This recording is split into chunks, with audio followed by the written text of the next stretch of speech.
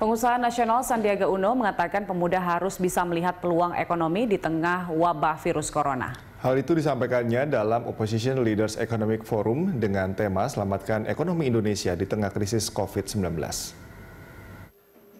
Dalam perayaan Dias Natalis kedua, Himpunan Pengusaha Kami menyelenggarakan Opposition Leaders Economic Forum dengan tema Selamatkan Ekonomi Indonesia di tengah krisis COVID-19. Pengusaha nasional Sandiaga Uno menyampaikan langkah antisipatif dan solutif bagi masyarakat untuk menangkal efek ekonomi corona. Pemahaman akan kondisi yang sedang melanda bangsa mampu menjadi instrumen pendorong bagi para pemuda untuk terus semangat berinovasi dan mencari jalan keluar. Ia mencetuskan untuk mengembalikan kekhawatiran soal virus corona justru dengan mengembangkan virus entrepreneurship. Ia yakin entrepreneurship dapat meredam geliat ekonomi yang menurun. Sandi mengingatkan agar ketakutan masyarakat terhadap corona tidak menciptakan situasi yang kontraproduktif. Namun bukan berarti juga mengabaikan kesehatan dan imunitas tubuh untuk menghentikan penyebaran virus corona.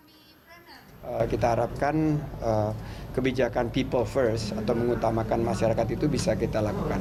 Yang ketiga adalah langkah antisipatif karena di balik setiap gejolak ekonomi maupun di balik setiap uh, krisis seperti ini pasti ada peluang. Kita lihat kemarin peluang di sektor jamu misalnya, peluang di sektor beberapa sektor yang farmasi yang mengalami lonjakan permintaan oleh karena itu eh, kita harus terus eh, menerapkan kebijakan antivirus yaitu dengan kebijakan eh, menebar kemudahan berusaha.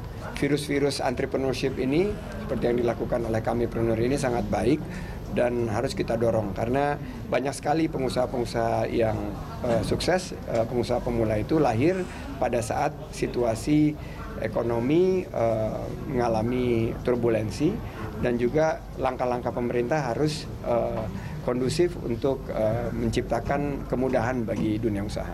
Sandi mengakui dukungan pemerintah sangat penting dengan kebijakan-kebijakan untuk memberikan insentif ke sektor-sektor yang paling terkena, terutama UMKM, dengan memberikan kelonggaran fiskal.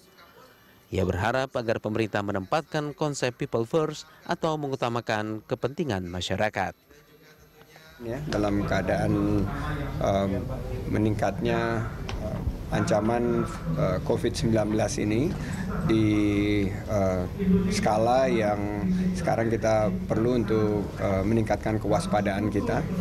Dan tentunya uh, aparat pemerintahan sudah melakukan yang terbaik.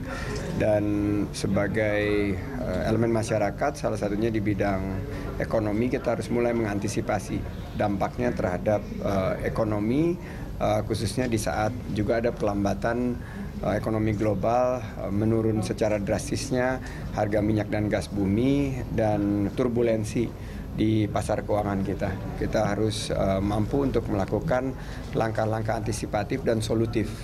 Dan uh, saya uh, memberikan uh, titipan pesan kepada pemerintah untuk menempatkan uh, konsep people first.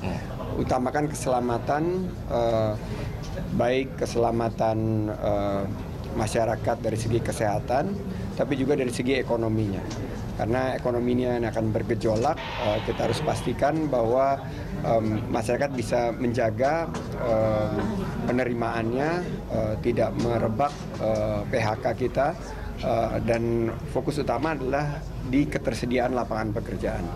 Fokus utama yang kedua bagi pemerintah uh, tentunya adalah memastikan pasokan bahan-bahan kebutuhan sehari-hari oleh masyarakat sehingga ancaman uh, COVID-19 ini tidak akan mendisrupsi supply daripada barang-barang yang apalagi kita akan masuk ke bulan Ramadan ini biasanya diikuti dengan uh, kenaikan harga-harga.